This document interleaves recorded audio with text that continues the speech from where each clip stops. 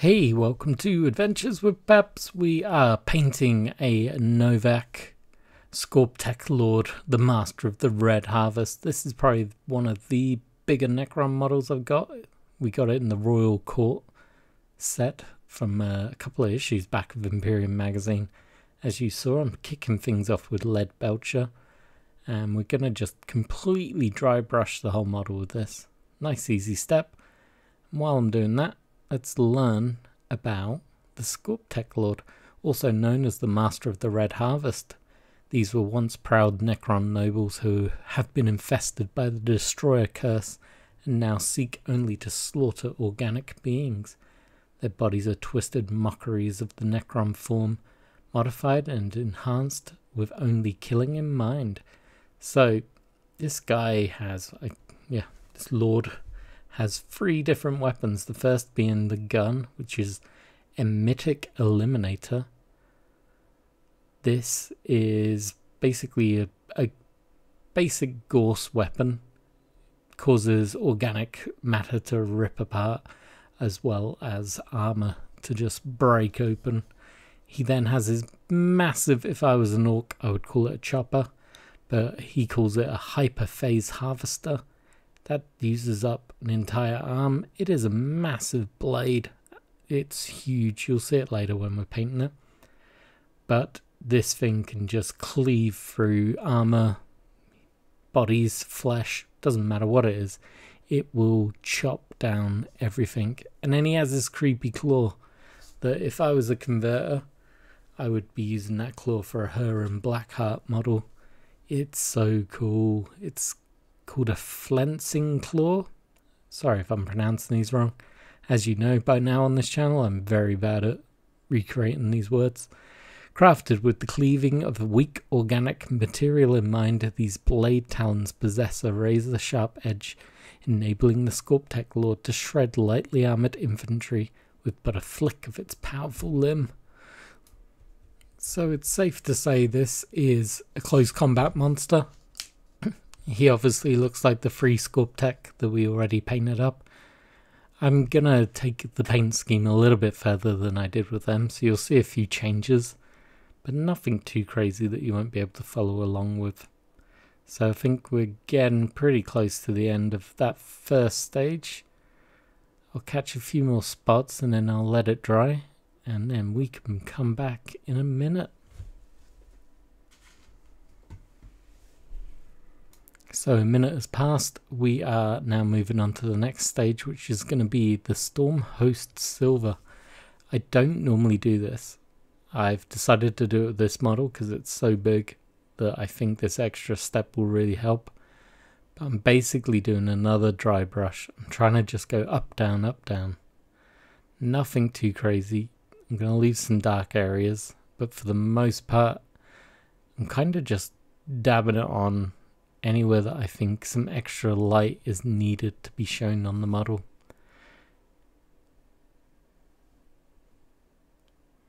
I'm just gonna like dab dab dab dab dab dab dab dab. That way it's gonna offer some additional depth to the different areas, but also just make it a little bit more interesting. This guy has some thick calves that are going to stay this gunmetal color. I find that if I just leave him with lead belcher, he's going to look real dark. So this extra step is definitely going to help. And as we continue the extra steps that I don't normally do, I've grabbed the Iyanden yellow. And I am going to find anything that I want to paint green. So these weird bauble effects that he has scattered across his body. There's a couple on his shoulders as well. Gonna get his eyes. This is very hard. I make an absolute mess of it, but it's fine. I'm able to clean it up. Head's gonna be red anyway, so it doesn't make a huge difference. And then the real fiddly bit, trying to get these little uh, indents on his weapon. Now, I'm not entirely sure this shows up when I've done the green, but in my head, I feel like it's going to help. So we're going to go with it and see how we do. Of course, I'm also going to do his chest. But this takes me a while, so let's skip forward and I'll catch you in a minute. Okay, at this stage we grab the first of the contrast paints, Nazdreg Yellow. Now you've seen me do this many times. I find that if you paint this colour over silver, makes kind of like a brassy dark gold effect. So I'm going to use it on his big medallion that he's got around his neck. I don't actually know if it's a medallion. It's probably something a lot fancier than that, but in my mind it's a medallion. It's a nice easy step, very easy to follow.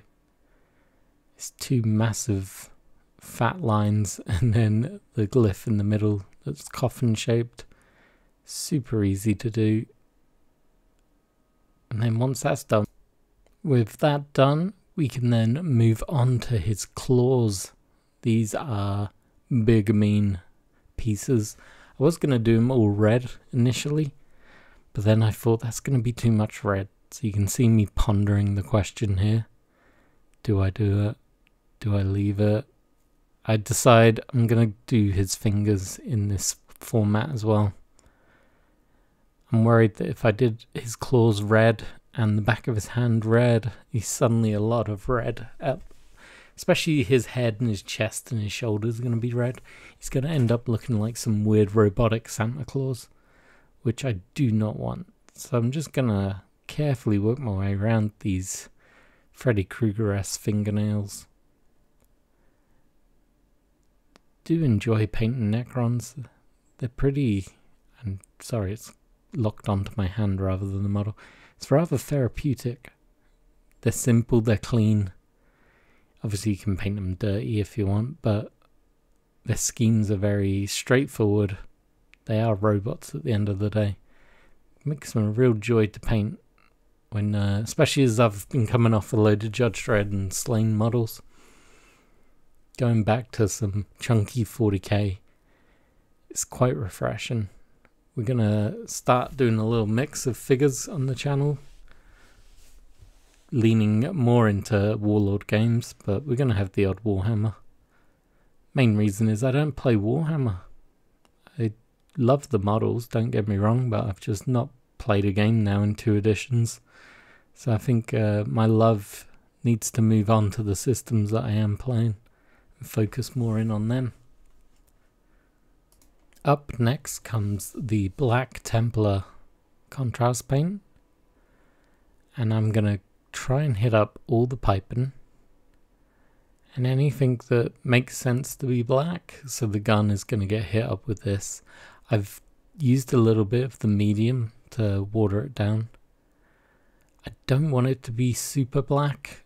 I just want it to give it a very uh, a very heavy wash, make it look like a very dark, beaten up metal. As you can see, I'm getting his kind of neck veins, I guess you would call them. Whatever connects to his skull and feeds the fluids around. Gonna get the gun feeds, the weapon feeds, and some other points around the model. But this is a pretty basic step, so I won't bore you too much with it. Just got to finish up the gun. I'm to take this moment to say like, comment, subscribe, all that good stuff. Let me know how you're doing. Let me know what games you're all playing at the moment. I'm always on the lookout for new games. I do have a list of stuff that I want to play. We've got uh, the Alien RPG I really want to play. Got the Another Glorious Day in the Marine Corps. We've also got the uh, Space Station Zero that I really want to try out. So there's lots coming on this channel. I just don't know what order to do them in. So let me know if there's something in that list that you, tweaks your interest. Drop me a comment, let me know. That may be the catalyst to get me moving forwards on some of these projects. So as you can see, he is starting to look pretty badass. We haven't got much colours on. But between the blacks and the yellows, he's looking pretty good. I'm pretty, I'm pretty happy with it. I'm not gonna lie. Hopefully by now the yellow has dried and I have grabbed the Orc Green, which is my green of choice for the Necrons, and I am just covering over the yellow. Now, for the most part, this green is going to completely cover it, but I'm hoping in some parts the yellow will push its way through and lighten up the green and just give it a weird alien green glow. I haven't got a Tesseract glow yet. I think that's coming in one of these magazines, but I haven't opened it yet. But once we do, I'll probably be going over all the greens on the characters with that. But uh, for now, this is my go-to method. As you can see, once again, I messed up the eyes, so the thumb comes to the rescue. And then, yeah, we're just going to pick out all the baubles, everything that we painted yellow. Now needs to turn green.